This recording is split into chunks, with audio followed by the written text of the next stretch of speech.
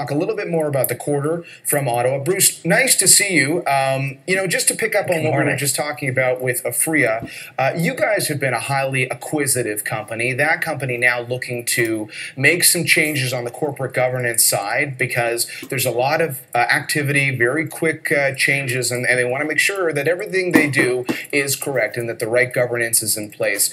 Um, have you guys had your own conversations around those kind of issues as well? Yeah, I, you know, I can't comment on where they are, but like simple things in our spot from day one. Uh, if you're working for me or anybody reporting to me or reporting to those people, you can't buy stocks in companies in the sector. Can't. And the reason is, what if we want to buy that company? It looks like we're self dealing. And what if we actually want to run them over? Maybe you're biased about running them over.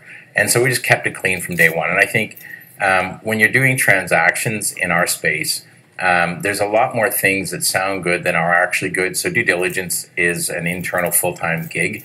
We have uh, probably four people who do nothing but look at things all the time. And if you're out in the network long enough, you actually know every player and what's going on.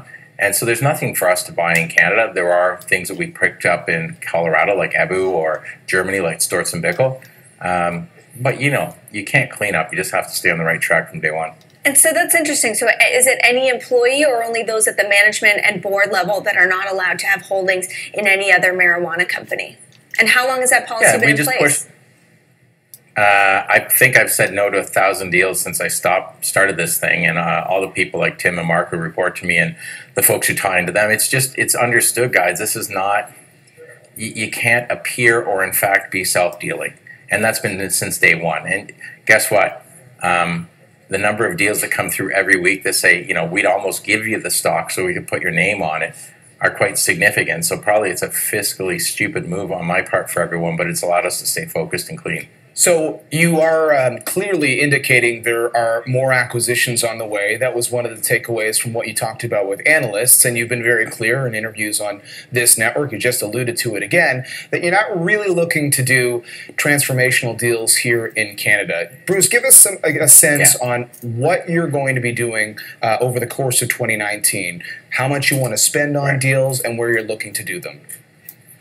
Yeah. So in Canada, we have about 6 million square feet of greenhouse and or indoor production. So lots of stuff to grow. We have uh, a platform for extracting the ingredients out, and we've built our own platforms for making everything from chocolate to bottled beverages, so I don't need a partner. And what a partner means in business usually is somebody who takes half the margin and necessarily doesn't do half the work. So we're not looking for that. But when you go globally, there's a big pharmaceutical opportunity, so we're always looking at is there a pharmaceutical element to a company that could spin out, or is there a company that was wrong in their uh, sort of molecule strategy and need to start uh, aiming at our stuff? Um, there's a whole bunch of greenhouse platforms in different countries to buy and build, but um, really what we're now doing is international. So we're, you know, our next big wave is hemp in the U.S., and that means building out things that start looking like what was the Hershey factory in Smiths Falls, there's a whole bunch of infrastructure in different US states that becomes filled with us. And so you're going to see us ever more global. And probably in about a year when I talk to you, you'll say, you know, this great company that is a globally driven revenue source uh, happens to be headquartered in Canada because that's kind of how it's evolving. But you, you make an interesting point because you're in so many different types of business lines, whether it's hemp, I mean, you're working on exper- uh, experiments for uh, animal based applications of uh, CBD, yep. you've got recreational, you've got medical. I mean, are you doing this in the meantime till we get recreational legalization in the United States and then the company kind of focuses up on, on that market? Or is there a true benefit to being spread kind of everywhere that marijuana can go. That seems to be where you're going. Does that, you know, perhaps cause the risk or, or lead to the risk of being spread too thin and not being focused enough? Yeah, so we have kind of four structured steps in our business. The first is what everybody talks about, but it's actually going to become the least exciting, which is how do you produce the ingredients? Meaning, how do you grow cannabis or how do you synthetically convert it? But those are ingredients. And there are hundreds or more than 100 ingredients in a cannabis plant. Then there's a process of getting those ingredients out so you can keep them separate and do the next thing, which is how do we mix them back together to create medical outcomes or health and wellness or veterinarian products? That's all the science. And then you take all that learning and you say, how do I make really great beverages? We use the science from that and then the marketing and branding. So it's more like a vertical staff stack that over time has a whole bunch of intellectual property, and the markets we go to are the ones which federally permit those activities. So in Germany, there's no party, but there's a lot of patients. In Canada, there's becoming a pretty good party with a lot of patients. And well, you could say, well, do less, but the end game then is to be not significant. And mm-hmm. right now, we've structured ourselves. We're in every country, we have great leaders, and in every line of product, we have focused people. And so it's a matrix management, which enables me to do virtually nothing because there are competent people doing everything. And Bruce, that combination works very well let's talk a little bit more about how you're financing your future. Uh, you've talked to us many times about, you know, a bunch of years ago, you used the fact that you were a publicly traded company and your stock to grow the business. It was difficult to get your hands on capital from big institutions here in Canada.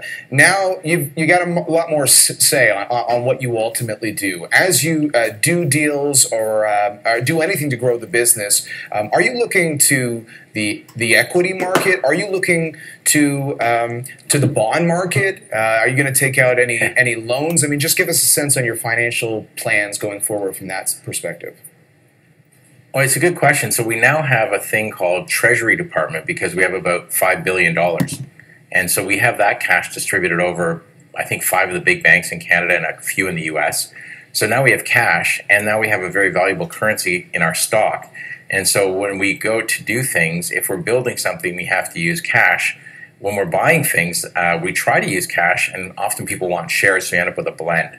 Um, but now what starts to happen is very sophisticated financial groups come to you and say, you have three or two and a half billion dollars of real estate and tangible assets.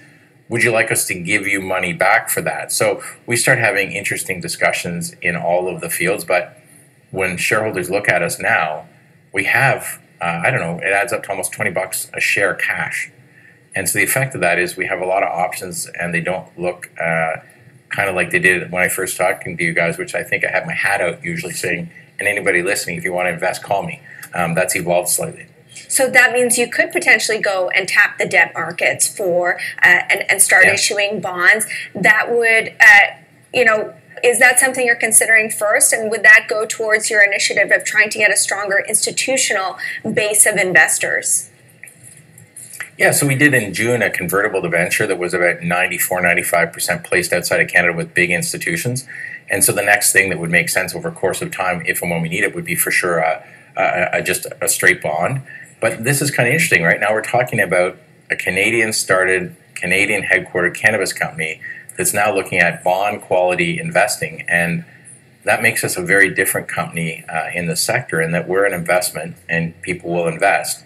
And there are other places you might place a bet, but those are bets. And so it's it's kind of good to be the quality. Uh, they talked about what your credit rating could potentially be. You talk about quality. Would this be investment grade?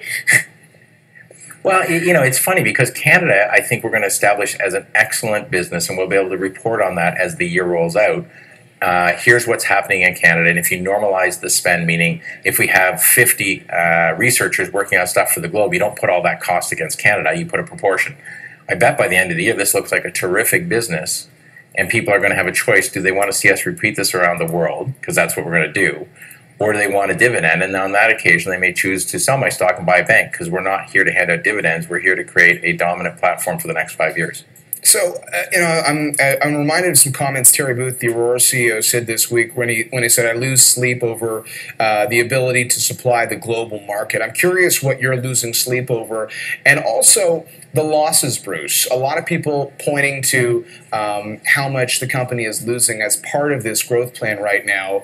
Um, what should we be thinking about when it comes to what those losses are going to look like in the foreseeable future?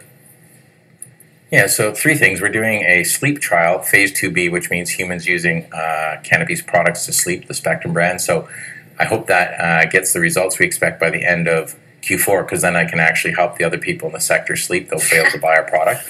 Um, but um, what losses right now are associated with operating in Canada and finishing the construction and implementation and operation of about 6 million square feet, most of which has been completed and is just turning up with pilot growth. So as we finish the next quarter or two, what we're doing are running things that are causing our losses now to produce all the inputs so that when the new regs, which will affect in Q4, come out for beverages and edibles, that whole platform will be running, which means we'll have a lot of product that people can buy and I think that will look terrific. Um, where I think the stress should be for all of us in the sector is uh, the regulations for Canada and the world have to keep rolling out because we can't exercise our business until there are rules. And the place just south of us is almost at the spot where I think they're going to have rules that let us enter more than hemp.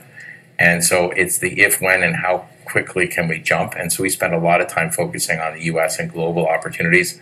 I think Canada's going to turn out to be a very good business run by very competent people as a, a division of our, our, our uh, enterprise. Bruce, I just want to expand on something you said there. As, as investors look to the path to profitability, so fine, your losses are growing right now and the market doesn't seem to care about that, but they want to see a path to profitability. In this quarter, mm-hmm. uh, you saw your costs increase and the prices that you were selling your marijuana uh, for in the recreational market, uh, uh, or sorry, overall lower. So are you telling me that those are the dynamics going forward, but it's going to be offset by new initiatives, whether it's in beverages or those third and fourth other initiatives that you're trying to do, or that those dynamics, uh, that higher costs and lower selling price itself are going to change and lead to a path to profitability? Yeah, so our actual Canadian cost, suppose you have a greenhouse, maybe they're 3 million square feet you don't put it all in play at once. What you do is you keep doing it uh, maybe 300,000 square feet at a time. But what we have is all of the operating costs of having